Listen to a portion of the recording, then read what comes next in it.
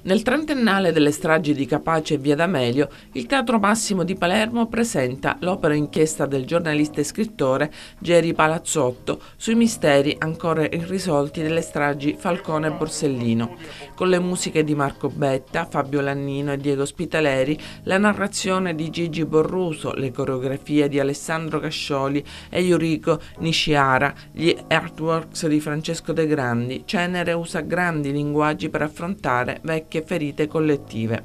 Cenere è il capitolo finale di una trilogia di teatro d'inchiesta prodotta al Teatro Massimo, scritta e diretta da Geri Palazzotto, iniziata cinque anni fa, con le parole rubate e portate avanti con i traditori.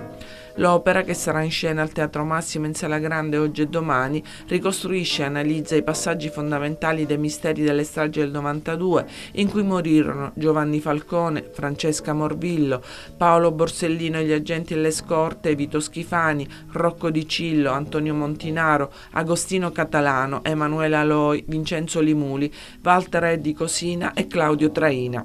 Sono passati trent'anni, spiega Palazzotto, e la cenere è quel che resta, una sorta di nemesi dopo un'incredibile sequela di indagini, processi, vicissitudini giudiziarie, anomalie, colpe mai espiate e parole non dette del più clamoroso despistaggio dell'Italia repubblicana.